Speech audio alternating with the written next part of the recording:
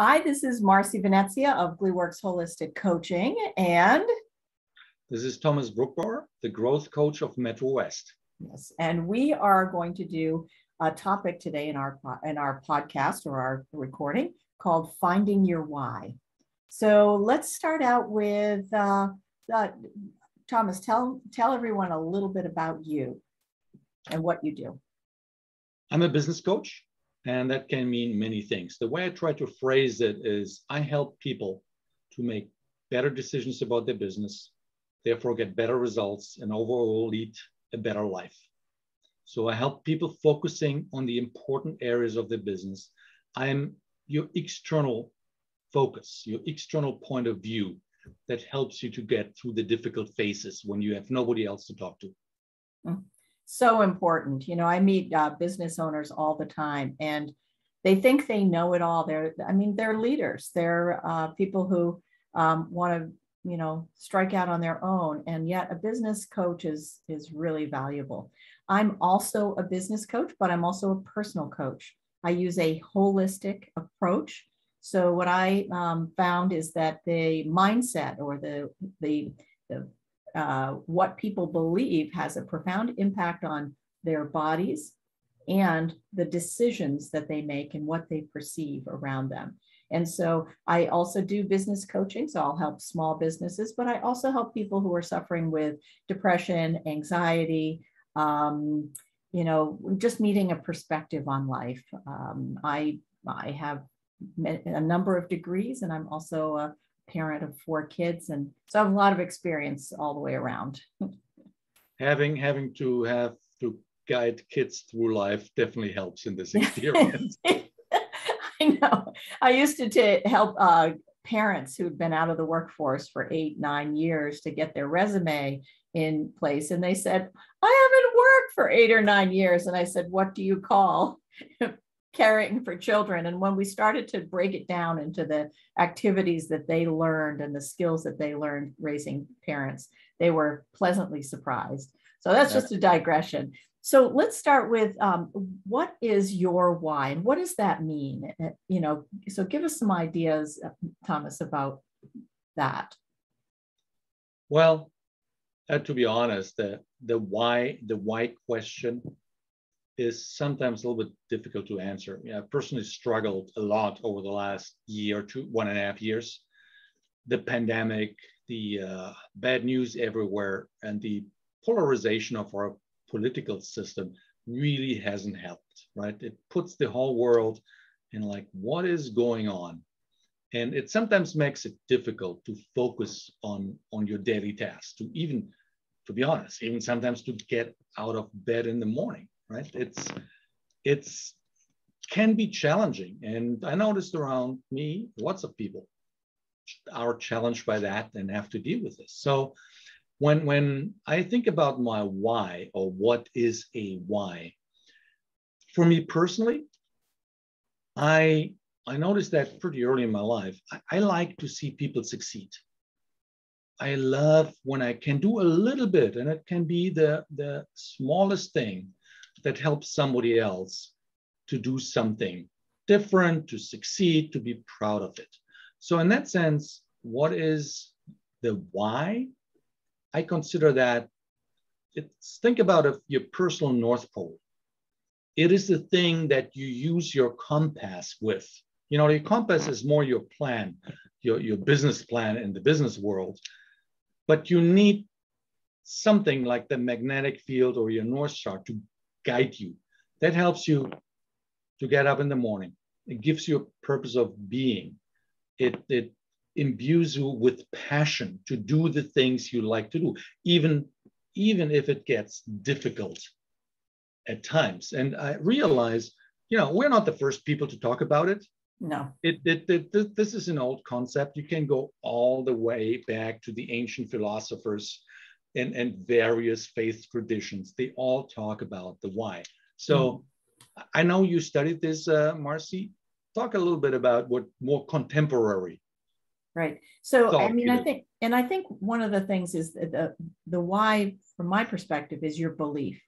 What's important to you? What drives you? And you know, you talked about wanting to help people. I too you know, a, a lot of times beliefs or your why comes from uh, experiences in the past. And for me, it was always wanting to make help other people. And I think so. My job is to find a situation where I can help others succeed. So yes, why is it can be a big thing actually, and it can be a small thing. I know there are people that um, their why is that they want to win a race because they're doing it in honor of their mother.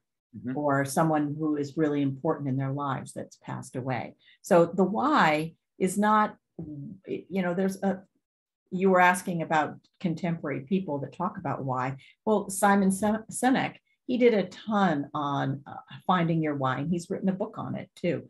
Very interesting guy.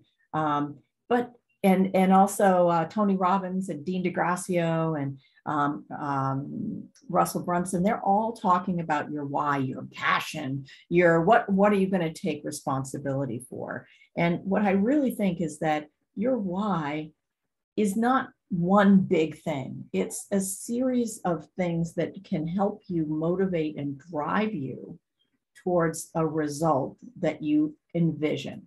So if you wanted to play the drums, for instance, you'd have to have a why. Like, I want to um, be successful at drums. That's kind of like a why. That motivates you, motivates you during the very, very difficult times. Um, so, um, Thomas, tell me what what your thoughts are, or why it's important to find it. Find I, I love your example of the drums because you know it, it leads directly. There, you know, the the famous German philosopher Nietzsche once said, "He who has a why can endure anyhow."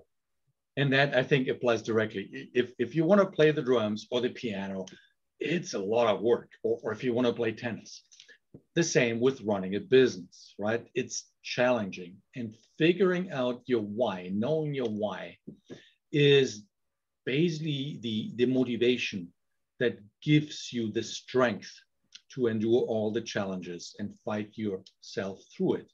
It, it gives you clarity in your life, right? It's, it's the passion and focus for your goals.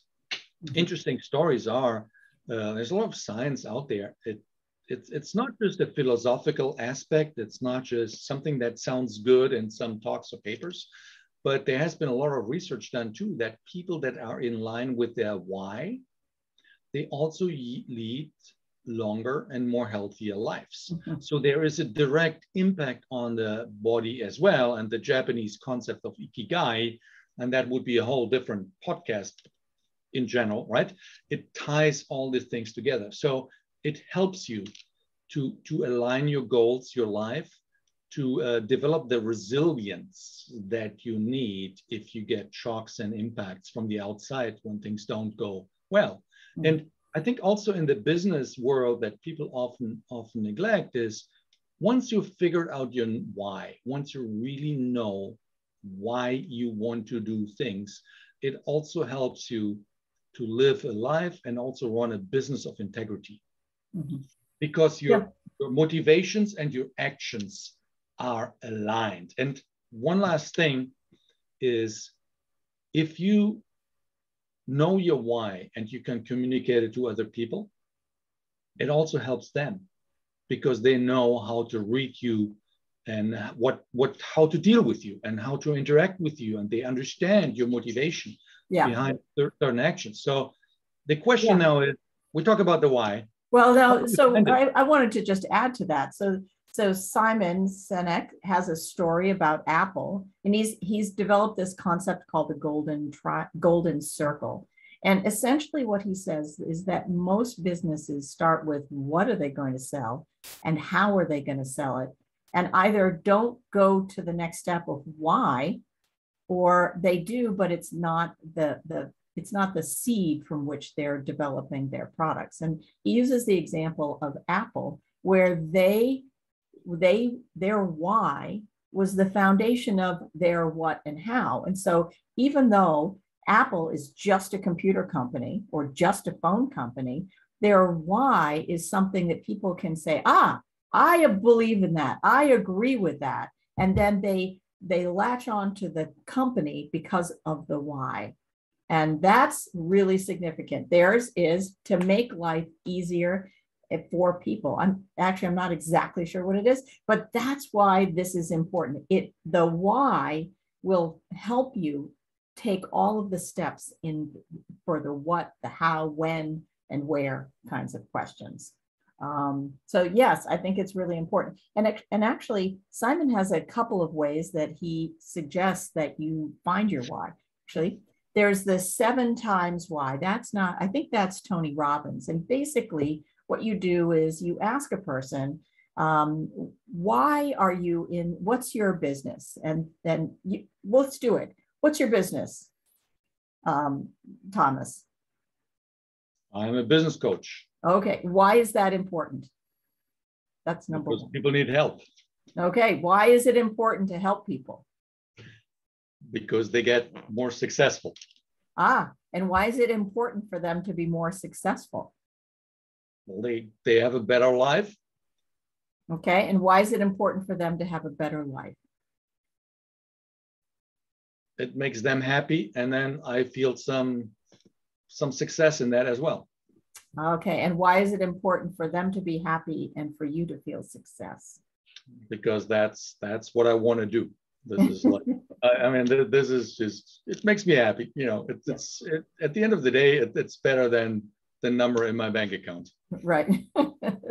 yeah, and I think you know that, and so we we we only we didn't go as uh, far as seven, but what ends up happening usually is that we get to a very personal reason why that's important.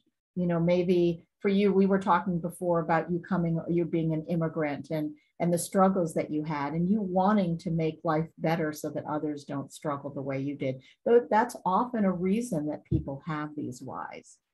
Um, the other method of finding your your why is to ask a friend who knows you very well but's not a parent or not a, a, a relative you know what is it about me that makes makes us a friend? What what's distinct about our friendship that you don't have?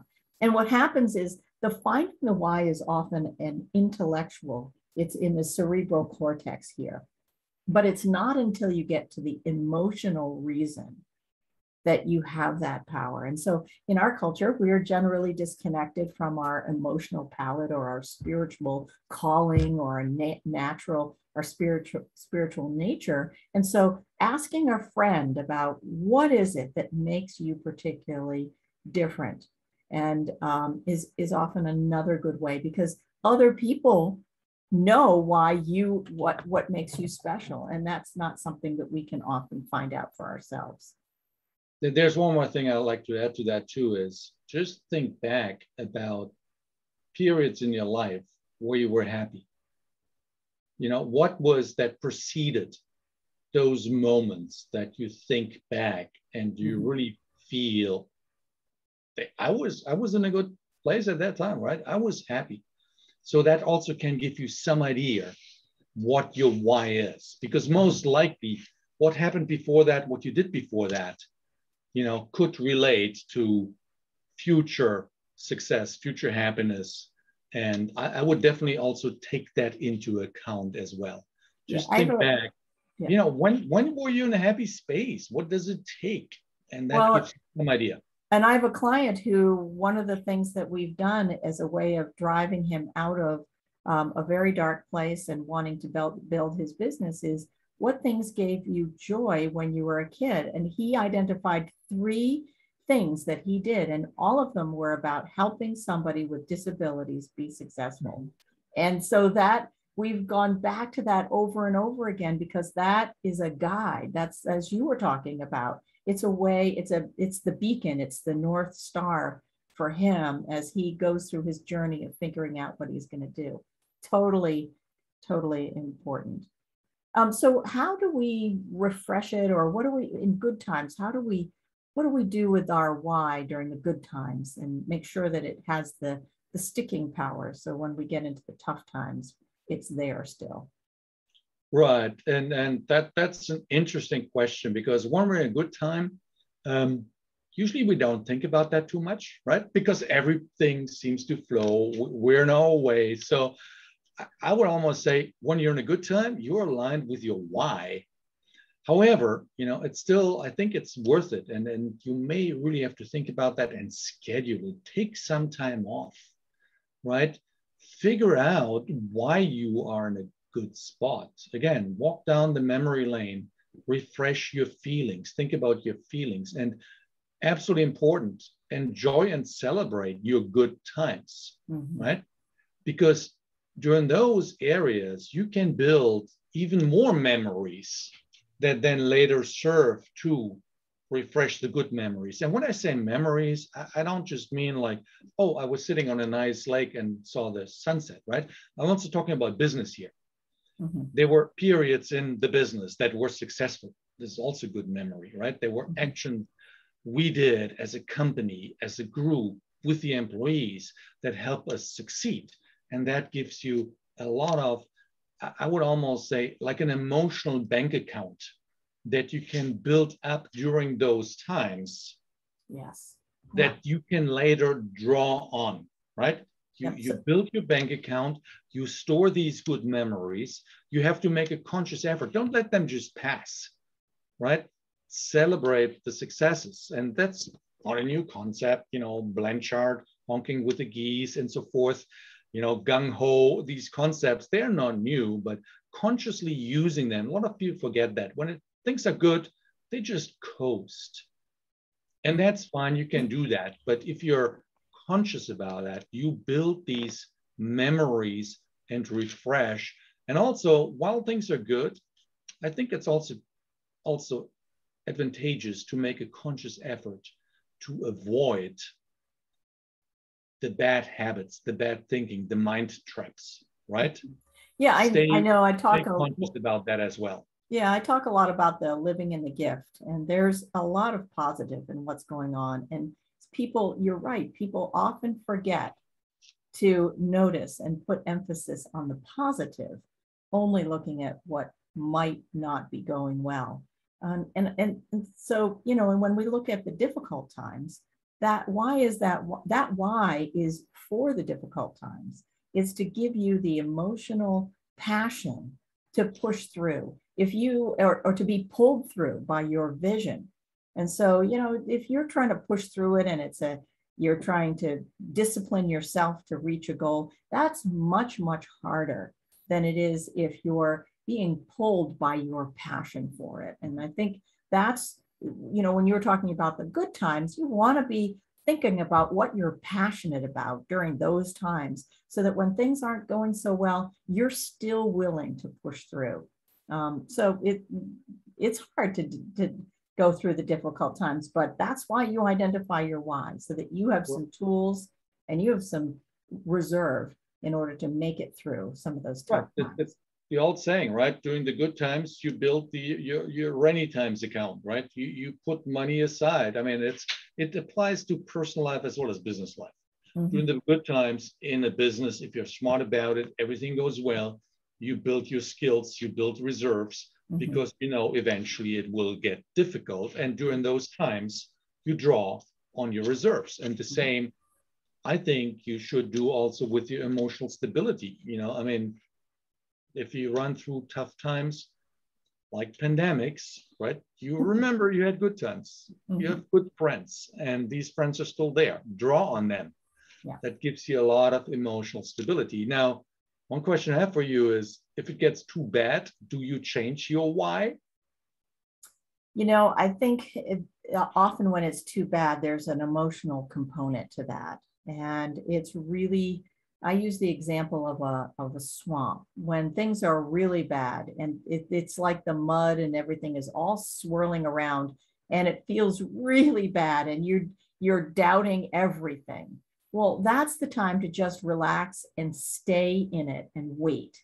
Wait until the water clears and you have a better sense. So it's not the time to change your why. You know, you don't go if you're in the swamp and you want to get to that island there that's has your your picnic there you don't when the when everything starts to swirl you don't say hey where's the closest clump of of uh, grass that i can jump on um, and and that takes self it takes self discipline it takes it takes having a team around you. And I think that's one of the things that mm. we both offer our clients is that perspective.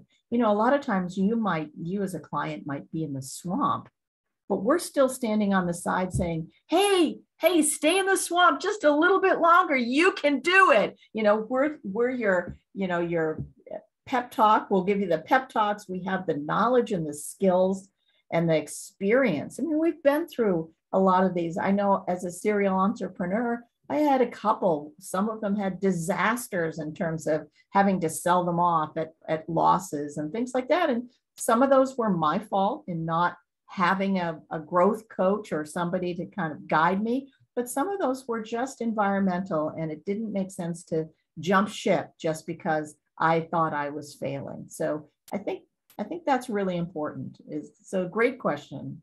Thomas. Yeah, absolutely. I mean, one, once you figured out your why, you, your core reason for being, right? Mm-hmm. That that typically stays with you for a long time. Mm-hmm. And as we discussed before, you know, a good point to find it. Really think back about the moments where you had success and where you were happy. You know, that that should be a pretty good guide. Uh, one little segue into that, you know, the swamp.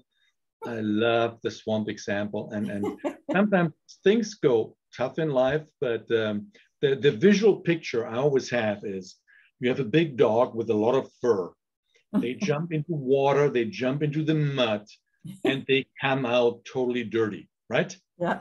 They, they look like a mess. And then they do this shaking thing, and the mud flings, and boom, you have the same dog that you had before. See, that that's what you, you have to do, right? Sling off the mud, go back to your original self. And it's the same beautiful dog, even though it looked like a mess just a second.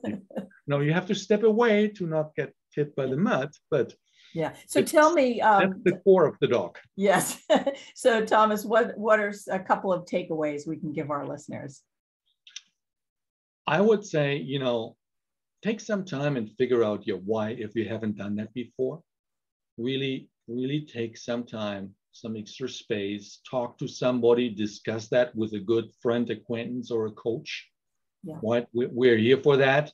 Mm-hmm. Can take a very good friend, but take some effort because it's going to be your guiding principle that you can remind yourself. And then the other thing is during the good times, build the reserves. Consciously build the reserves. Don't let the good times just pass by. Mm-hmm. Build memories mm-hmm. during those times. I guess you have a few more.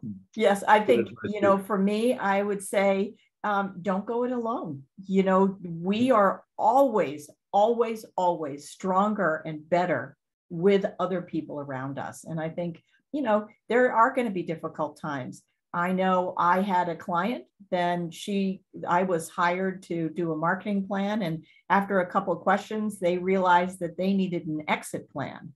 And one of the most important things they said about my work with them as now an exit planner was that I normalized it. I helped them to understand that businesses go through, um, you know, bankruptcy and fail and and succeed all the time, and to have somebody that gives you perspective on that and keeps you on that keeps you in the swamp long enough for you to see again your vision that's truly truly important and you know many many many people do not use business coaches that would have benefited from them and so i i i really think don't go it alone even if you're not hiring one of us get somebody that is better at business than you are to help you out during those tough times Absolutely. I always use the Feynman quote. Feynman was a famous physicist, and he said, The easiest person to fool is yourself. oh, God, in certain situations, wishful thinking is just not helpful. Having an external a mirror, a reflection board, really can help because we tell ourselves stories. Yes. We tell ourselves stories every single day, and we have to get past our own stories we have to you know face the reality and then make the right decisions right not based on our stories but based on what's really going on yeah. well this was lots of fun thomas and um, I, th- I hope our listeners heard um, something that they were able to take away and And um, we're certainly available to have a conversation. Doesn't have to be a, certainly jumping in full blast right at the beginning. Just give us a call. Um, my phone number is 781 223 8221. 781 223 8221. And Thomas here has put all of his contact information right up in the corner, which is really super. And I've just learned something from you, Thomas, about Oh, my screen. Again, uh, you know, if, if you if you use it, I don't mind it. Go Yeah. ahead. So you see. I won't have my two baby deer in the background like the, the next time. I'll, I'll have a much more professional look. So um, any last words, Thomas? No, I just want to repeat my phone number in case somebody listens only to that on audio. Oh, So it's great. 508 504 7540. Again, 508 504 7540. And if you happy or if you, if you happen to watch the uh, video recording, it's all on the screen. Yep. And we're gonna do this again, right, Marcy? Yep, we, we're having a great time. And you know what? Uh, You know what I love is we're getting to know each other. We're getting, we're trusting each other more. And, you know, I had a client and I called you during the week and you were, you were so helpful and you offered to help. And I think that's, that's what's going to really truly make our partnership po- powerful, even though we're actually competitors. So I think we're, we're changing the, the narrative on competition and, and cooperation. I my my most of my life I worked in areas where some of my best friends were my competitors. Mhm. And I always consider this as growing the pie, Yes. right? It, it's about let let's work together. It's cooperation Mhm. has helped humanity through the last 200,000 years of evolution. Yeah. It's not gonna change. All right. Well, thanks All right. everyone for listening and have an amazing day. Thank you, Marcy. Thank you.